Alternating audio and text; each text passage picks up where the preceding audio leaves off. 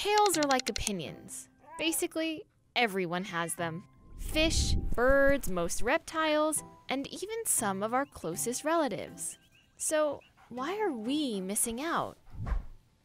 Since tails first evolved at least 500 million years ago, they've taken on every role imaginable.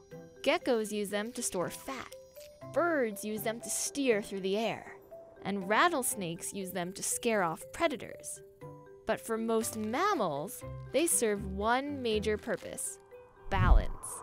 Yet, as you get closer to humans on the evolutionary tree, tails disappear. Gorillas don't have them.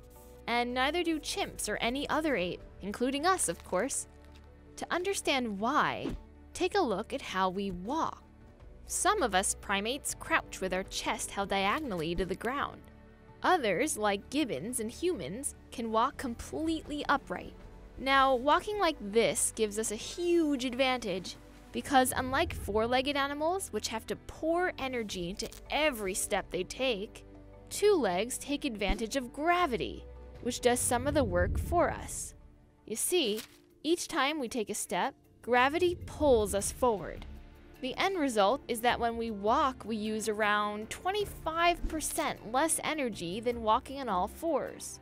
And in the wild, every ounce of energy you save can mean the difference between survival and starvation.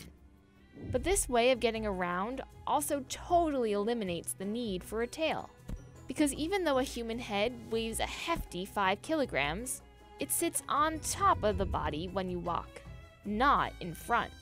So you don't need a tail as a counterbalance. Pretty disappointing, huh? That being said, you can still see a reminder of a time when our ancient primate ancestors had one. Just look at a human spine. You can see how the last few bones are partially fused together. That's your tailbone. It's all that's left of our tail. And yes, it's sad and pathetic, and you can't wag it. Now, in rare cases, babies are born with what looks like a tail, but that's not what's really going on. Most often, these tails are actually tumors, cysts, or even a parasitic twin. Even more occasionally, they're a true outgrowth of the spine, but are completely boneless, a soft tube made entirely of fat and tissue.